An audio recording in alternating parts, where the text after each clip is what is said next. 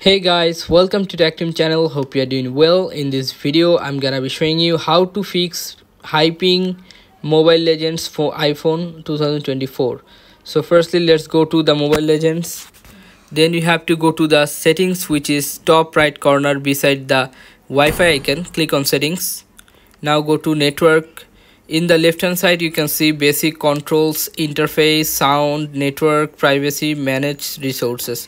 You have to choose network from this line. Now you can see that speed mode which should be turned on. Click on ok. And the network boost should be turned on.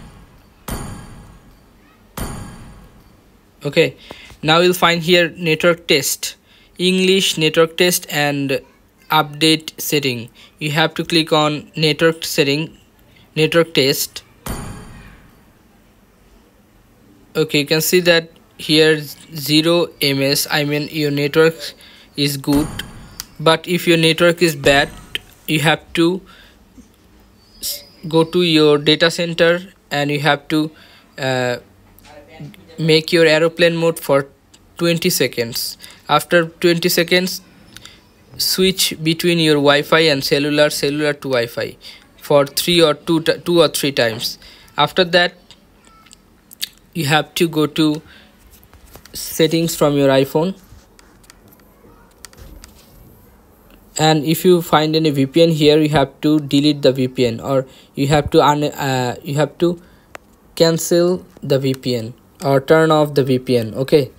Then you have to go to this general from your iphone settings then you have to click on this background app refresh which should be turned off. If you find this turn this on make sure turn this off. Okay. Now the last step is you have to go to uh, app store from your phone and write here mobile legends. Check back that your any app uh, update here or not. If you find any update you have to update it from here and it will work for you.